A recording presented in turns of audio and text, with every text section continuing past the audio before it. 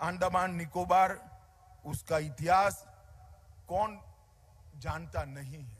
यहीं पर आज़ादी की तीर्थस्थली जैसी सेल्यूलर जेल है, जहाँ वीर सावरकर ने अपार यातनाओं को सहते हुए कभी न झुकने वाला जज्बा दिखाया था, जहाँ पर अनेक अनेक सन सत्तावन से लेकर सन सैतालीस तक, अठारह से उन्नीस तक अनेक कैदियों ने यहाँ रहकर आज़ादी के आंदोलन की तपस्या करी थी।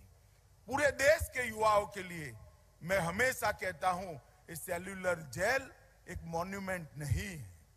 देश के युवाओं के लिए आज़ादी के आंदोलन का एक तीर्थ स्थान है और वही जगह पर जब तब तक लोग आज अंग्रेज़ों के परेशानियों से, उनके जुर्मों से तब तक आज़ादी के लड़ाकों को यही भूमि ने माँ की तरह सांत्वना देने का काम किया था।